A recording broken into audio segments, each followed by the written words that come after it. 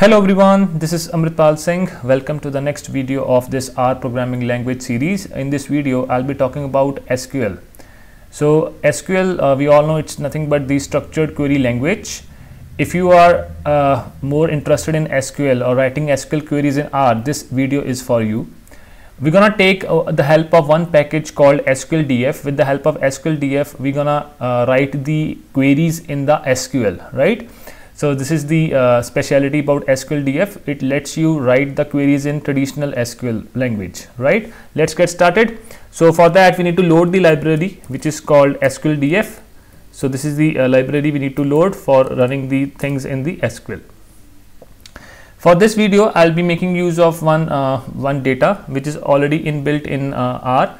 It's called UCB admissions is available by default in the R programming language.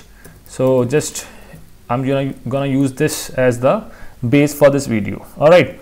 So this data contains the students admission status such as admit, gender, department, frequency of the students, right? So first of all, we need to convert this into a data frame. So we are converting it into a data frame called X so with the as dot data dot frame we are turning this into this. So we are putting it here UCB admissions. So this UCB admissions data now it's been converted into the data frame.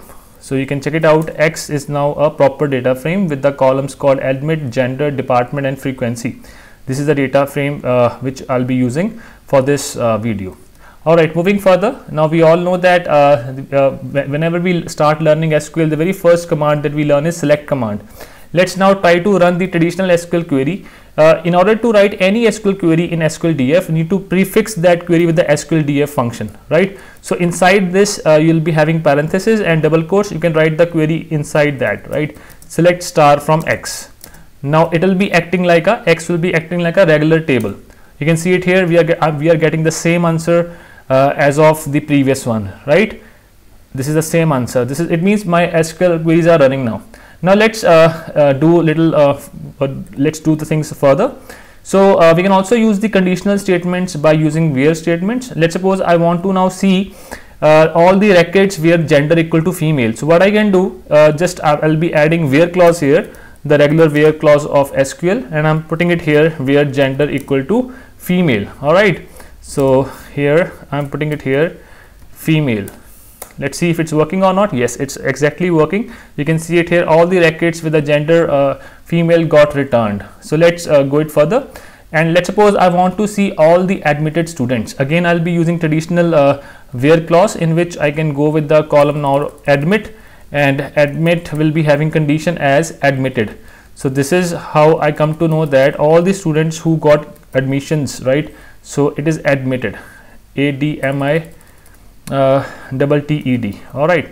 You can see it here. I got all the records where the admit uh, is equivalent of admitted. So now let's suppose I want to now uh, see all the admitted students department wise in the decreasing number of students admitted. So here actually we are just trying some variations right? So in this case uh, what I'll be doing it will be same but I'll be just adding one uh, additional param additional parameter which we all know additional operator called order by so everything will be same. I'll just be adding the regular order order by for sorting the data. So I'm ordering by frequency and I'm using DESC for decreasing order. So you can see it here, the frequency things got uh, sorted, right? You can see it here, uh, the data remains same, but the data has been sorted with respect to frequency in a descending order. In the same way, if I want to see all the departments, I can go with the basic query uh, again SQL DF as my function in which I can go with the select. Distinct means if I want to print the uh, unique records right uh, in this uh, admissions right so I can go with the distinct DEPT department from X. So it will be showing you the uh, all the departments from that. We are having total six departments A B C D E F. This is how we can do it right in the same way, we can uh, go with another query. Let's suppose I want to now uh, display the total number of students admit, admitted. In this case, I'll be using aggregate function. So here we are just trying the different variations like uh, try to cover up uh, some of the commands of the basic SQL. In this case, I'm going with the traditional uh, aggregate operator called sum. So sum of frequency, right? So from X, right, where student, where admit equal to admitted where admit equal to admitted right? So so in this way you can try any SQL query right? Whatever like whatever the things we have learned in the SQL like group by order by right? All this stuff joins and all. So let's now uh, try the last query here. Uh, I want to now uh, show all the students who got rejected in the admission. So everything will be same. Instead of now admit it will be rejected right?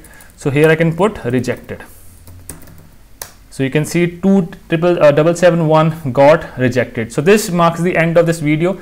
Actually, uh, uh, the, because SQL topic is so uh, huge, right? You can try any of the SQL query. The major purpose of showing you uh, uh, with this video was to make you aware that we have a one package available with the name SQLDF with the help of which you can write any SQL query in R. So provided you have this package installed with the install.packages SQLDF, first load the library, whatever query you want to write, just enclose in a double quotes and just uh, call the SQLDF as a prefix, right? So that's it from my side. Rest of the content I'll be covering up in a next video. Thanks for watching guys.